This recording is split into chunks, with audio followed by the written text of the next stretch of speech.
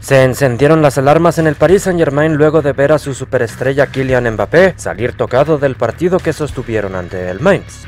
El futbolista francés se quedó tendido sobre el terreno de juego tras tener un encontronazo con un rival. Intentó seguir pero finalmente no pudo. Se marchó al vestuario cojeando y con gestos de dolor que preocuparon a más de uno. Fue el mismo Mauricio Pochettino quien informó que no están preocupados y que estará listo para el primer partido de la semifinal ante el Manchester City en Champions League.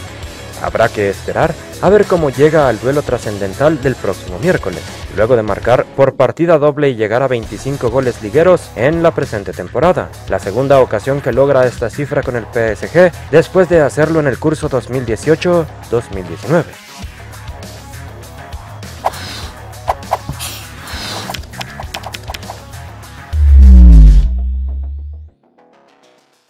Ya que nos encontraste, no nos pierdas. Suscríbete a nuestro canal de YouTube de Telemundo Deportes.